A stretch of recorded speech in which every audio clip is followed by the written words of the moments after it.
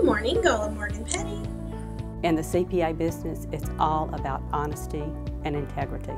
Everything beyond that is the technical side, but if you don't have that foundation to start with, you don't need to be in business. I'm Barbara Bass. I'm a partner and CPA with Gollob Morgan Peddy Company in Tyler, Texas. We have a full service accounting firm. We offer everything from the standard income tax, audits, and all the other accounting services. What we think that we do differently is to really sit down with the client, identify their needs, and work to get the results needed in that situation. I think the Better Business Bureau accreditation has provided us even more integrity, more visibility, more support of that CPA foundation of who we are.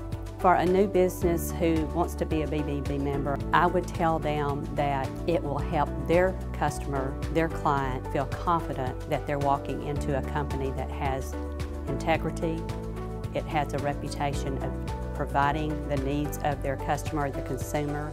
It will give them a higher level of visibility and a higher confidence level with their consumers going forward. We are Gollob Morgan Peddy.